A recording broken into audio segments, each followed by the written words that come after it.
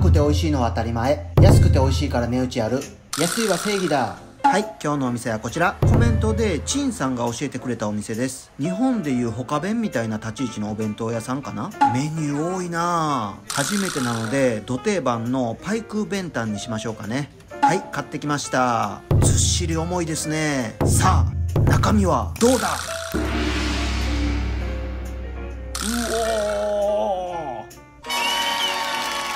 はみ出とる。こ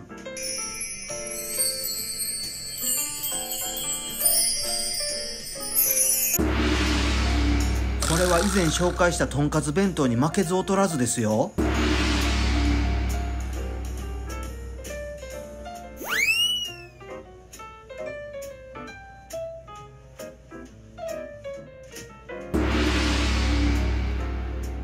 とこれどう食べたらいいねん。逆に一周して邪魔だわ。ちょっと抜いてもらおう。うわー具だくさんすぎて白飯が見えない。ちょっとこれ食べきれるか心配だわ。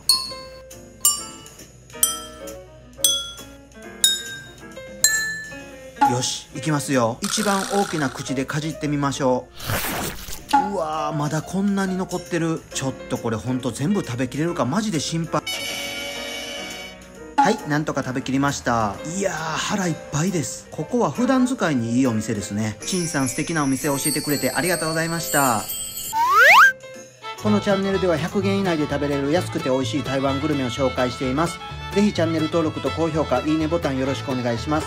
皆さんが知ってる台湾の安くて美味しい100元以内のおすすめグルメがありましたら、ぜひコメント欄で教えていただければすごく嬉しいです。今日も最後まで見ていただいてありがとうございました。我愛台湾ゾロでした。